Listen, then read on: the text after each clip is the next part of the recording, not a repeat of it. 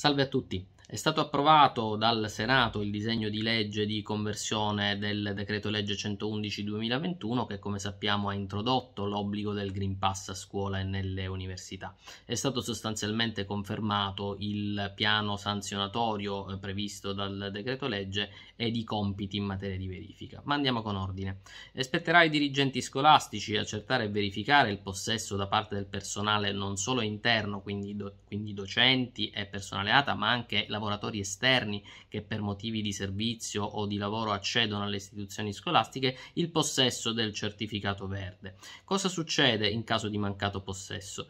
Eh, in questo caso eh, scatteranno le sanzioni previste dalla legge. In particolare il personale eh, sprovvisto di Green Pass verrà considerato assente e ingiustificato e quindi non potrà eh, ricevere né la retribuzione né gli emolumenti accessori. Dal quinto giorno di assenza ingiustificata giornata, se non ha provveduto ad acquisire il Green Pass, il personale verrà sospeso dal servizio con eh, sospensione ovviamente della retribuzione degli emolumenti accessori. A queste mh, eh, sanzioni che riguardano il rapporto di lavoro eh, si applicano anche le sanzioni di natura amministrativa, in particolare sanzioni pecuniarie. Viene confermata infatti l'applicazione della sanzione amministrativa pecuniaria che può andare da 400 a 1000 euro e addirittura raddoppiare in caso di reiterazione realizzazione dell'illecito. Queste sanzioni ovviamente riguarderanno non solo il personale interno, quindi i docenti e personale ATA, ma anche i lavoratori esterni che dovessero accedere